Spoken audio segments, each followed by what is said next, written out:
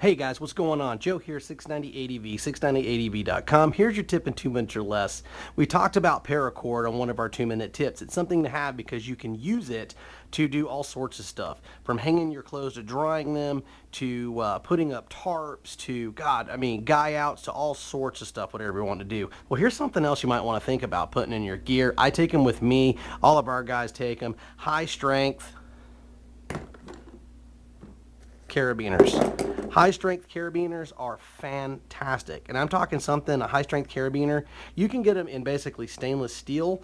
Um, you can get them in basically aluminum. You can get them in all sorts of flavors, whatever you want to get them in.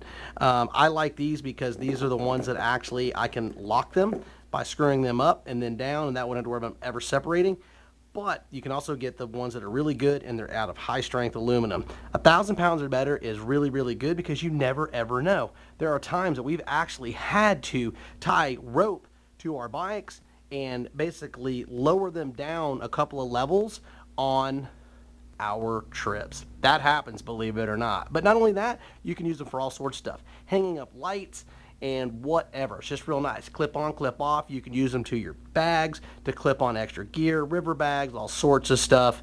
They just come in handy. So don't forget, carabiners, down in the description if you want to pick some up. We sure do appreciate you. But anyway, carabiners, think about putting those in your in your gear whenever you guys are going out on your trips because they will come in handy and you will use them. Make no mistake about that. That's your tip of tuna minutes or less. You guys have a fantastic day.